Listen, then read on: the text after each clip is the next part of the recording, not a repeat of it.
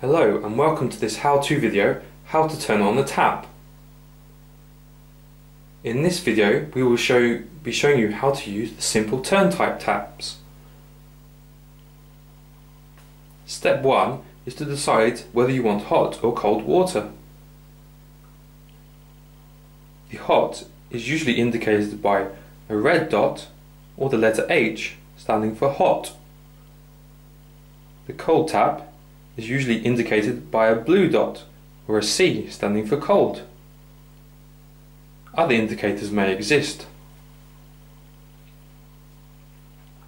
In order to use the hot water tap, simply turn the tap.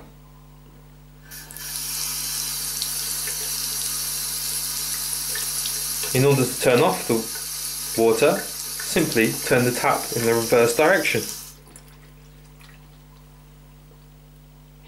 To use the cold water tap, simply turn the tap.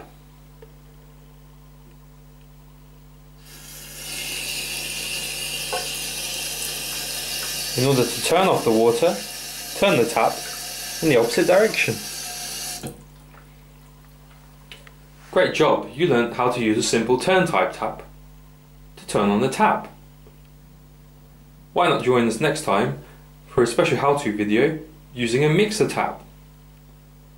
Like and subscribe to our videos for more great how-tos.